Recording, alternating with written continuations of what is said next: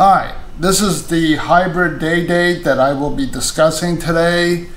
The schedule at my new job changes every week. Also, the time of day that I have to work now varies from afternoons to evenings. This is so disorienting for me that I never know what day it is. Accordingly, I was in need of an affordable, comfortable day date dive watch.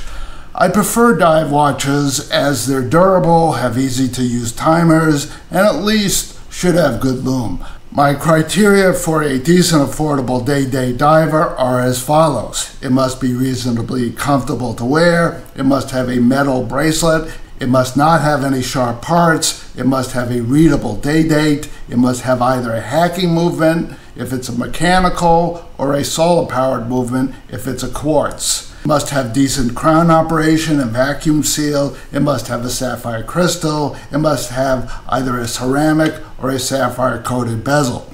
It must be $500 or less. These criteria are not a lot to ask, but I've searched high and low for such a watch and have reviewed some potential candidates when I was doing watch reviews on this channel. These include the Orient Kamasu, the Islander ISL02, which is a Seiko SKX knockoff, the Hemi SKX 007, another Seiko SKX knockoff, and the Seiko SRP E03, also known as the King Turtle.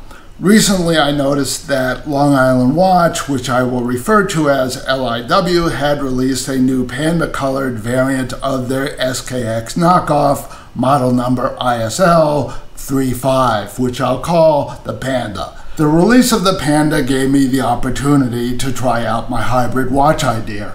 I did not do this before because the Islander's date, which uses a small font, is crammed into a way too small date cutout, which makes it challenging to read. My idea was that since the background color of the Panda's dial was white, this might make it easier to read the day and date as it would be read against a white dial background. While the day date cutout of the Panda is still crappy, the white dial background does in fact make the day and date easier to read. There were significant changes made to LIW's SKX knockoff since the original batch that I reviewed. I will cover these changes after I discuss my hybrid. One thing that LIW hasn't improved is its crappy clasp with its sharp edges and only three microadjusts when it should have four. LIW gets away with this screwing of the consumer because LIW can. There's very little competition. Instead of engineering good quality clasps consistent with the overall good quality of the rest of LIW's SKX knockoff, LIW has instead invested in the development of a myriad of new knockoffs that all appear to use the same junk clasp. My hybrid is made from the case of a Panda and the bracelet of a Seiko 5 Sports, a watch that I've reviewed on this channel. I didn't know for sure my hybrid concept would work until I tried it. I knew that the Seiko 5 Sports should fit the Panda as LIW says it's compatible with Seiko SKX parts. From the information that I had, I was pretty sure that the Seiko 5 Sports case was compatible with the Seiko SKX, though not certain as there is so much bad information circulating on the internet. I called Seiko to get a price of the Seiko 5 clasp, with shipping, it's about $50. Seiko told me that they're out of stock right now, but they're expecting more next month. My hybrid wears like a Seiko 5 Sports, which I knew wore well from reviewing it. The only significant difference between the shape of the case of the Sports and the Panda is that the Panda's case is a little thicker. Is my hybrid a great watch? No, the day dates font could be bigger, aligned better, and could still use some more margin, but it's doable now. The bracelet, while very smooth, could use some more taper. In the world of $500 watches, this is about as good as it gets in the comfort department. One thing I really like about the Sports' clasp is that it has virtually no bulk and no sharp edges. Some people will wig because the clasp scissor is made of thin metal and the end links are hollow. These are issues that might be important if one were buying a high-end watch that one expects to last a lifetime and pass it on to his or her heirs. I suspect the movement of the Panda will need servicing well before the bracelet and the clasp wear out, and the movement is so cheap that it will not pay to replace it. At this point, my hybrid will be chucked into the trash and Seiko will probably have made a smaller version of their turtle that meets my specifications. I'll probably not have to worry about buying another watch anyway, as we will all probably have died from starvation from drought caused by global warming well before my Panda's movement needs servicing. After I put the Sportses clasp on the Panda's case, there was a little bit of a rattle. I replaced one of these Sportses spring bars that looked a little shoddy, but the rattle was still there. The Panda spring bars were too thick to fit the Sportses end links, I could try buying higher quality spring bars in hopes that this gets rid of the rattle, but I probably won't because I, I think it's unlikely the rattle is caused by the spring bars. The rattle is only slightly annoying and I'm already getting used to it. The end links feel secure in the Panda's case and that's what's important.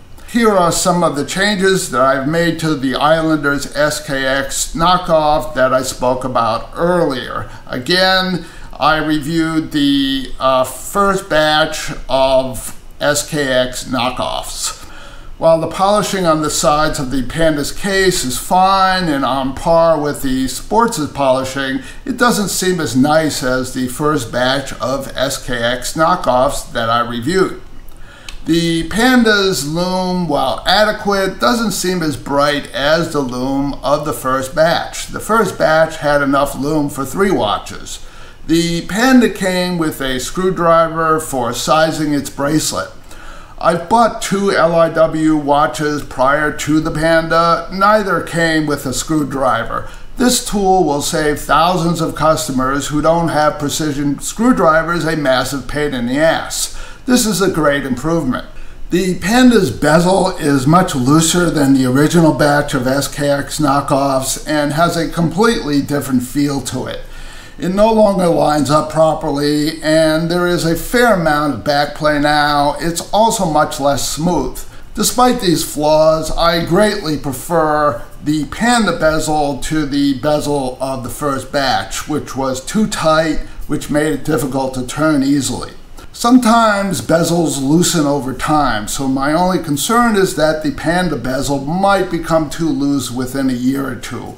Overall, I'm happy with the Panda bezel and ecstatic that LIW loosened it up. LIW smoothed this point in the case. This is a huge improvement as now you can wind the watch without grating your finger.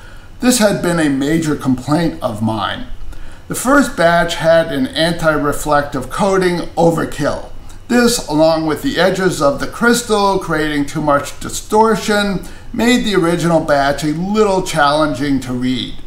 The Panda crystal is super clear now, and the edge of the crystal causes only minimal distortion. The Panda, unlike the first batch, is a super readable watch. The crown is now signed, yay! Before peeling the sticker of the Panda and cannibalizing it, I tested it on my time grapher to make sure the movement was within specification. My Panda is very accurate. It's running 4 seconds fast a day in the horizontal position and 5 seconds fast a day in the vertical position. The first two watches that I bought from LIW, while well within specification, were not very accurate. There may be aftermarket bracelets out there that are also good with the Panda that I'm unaware of. I thought about buying a Strapcode aftermarket bracelet, but from looking at the pictures of the Strapcode, it seemed to be using the same type of garbage sourced clasp that LIW uses. I've never tried the Jubilee style bracelet that came with the SKX and therefore cannot pass judgment on it. It's too bad that the watch industry gives consumers such dreck that we must resort to making our own watches. but you have to live in reality and make do with what is available. Please like, please subscribe.